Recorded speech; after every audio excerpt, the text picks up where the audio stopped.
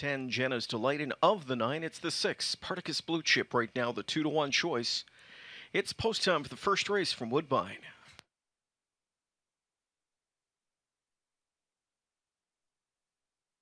Here they come.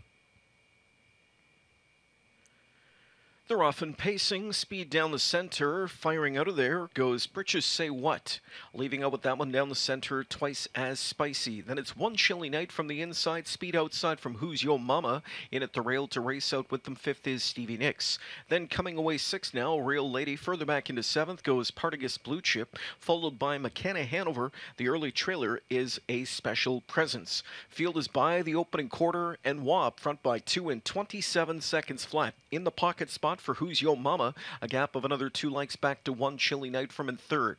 McDonnell's charge, Stevie Nicks gapped out badly. She's got to be about seven or eight lengths off the foal in front of her. Stuck in behind her is a real lady from back in fifth, and Stevie Nicks just stuck them in. Stevie Nicks made a dirty break in stride, was gapping out badly in the backstretch, and has scattered the backfield. They're coming up to the midway point. Wah swings away on twice as spicy. That one on top by a length and a half. Over pocket sitting Who's Yo Mama. The field past the half in 56 and 1.